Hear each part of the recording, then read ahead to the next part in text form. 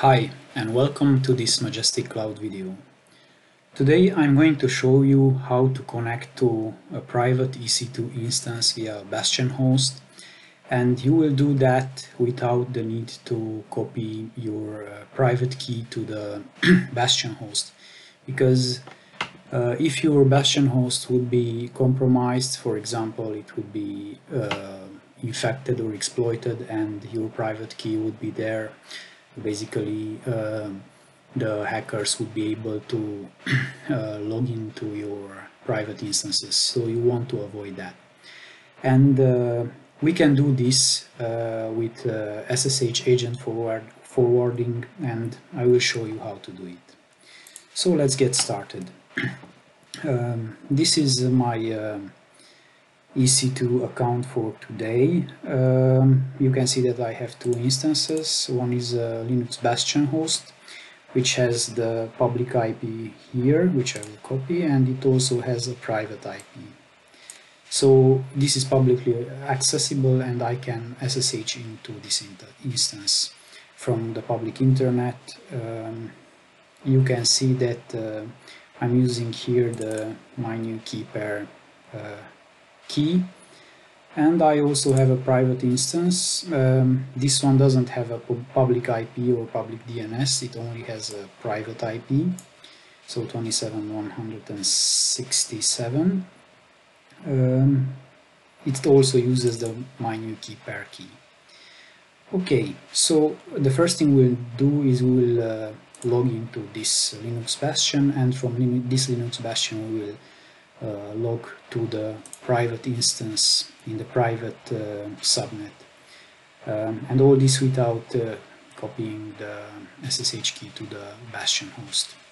So let's do this. Um, okay, so the first thing um, we need to do in order to be able to uh, set up SSH agent forwarding is to uh, type ssh agent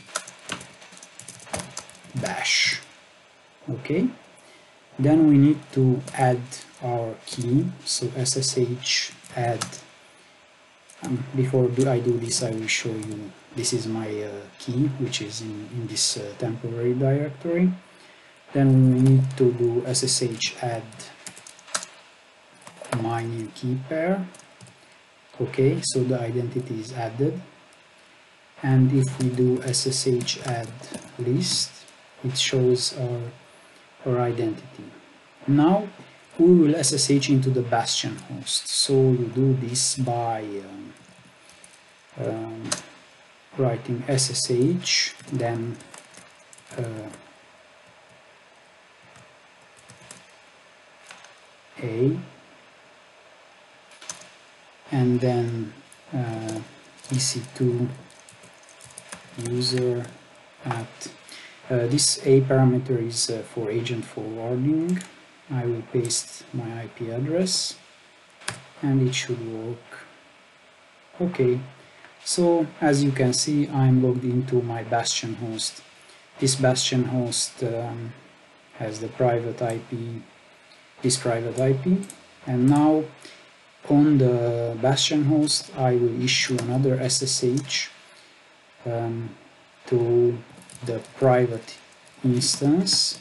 Let let's copy the private instance's uh, IP address. Okay so this is copied. Let's paste. Okay.